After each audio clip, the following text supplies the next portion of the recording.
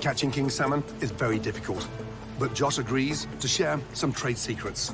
So I will show you a couple baiting Sure, techniques. sure. It's all about your relationship Sure. with the piece of bait. So if we don't catch anything, I'm gonna blame your Yeah, technique. So, all right, we'll start with the threaded herring, a That's it. firecracker, True. red herring. Have you ever seen anything like this before? Uh, no, not this In technique, no. journey. Yeah, so now we're gonna thread that through. When you put it through there, you want to be careful. The hooks are sharp. Yes, yeah, You're just gonna go nice and slow. Bring her through. See, nice and easy, nice and easy. Look at that. Like a pro. It's a beautiful technique. Huh? All righty. You want to grab that rod, Gordon? I'll stop you when she's good.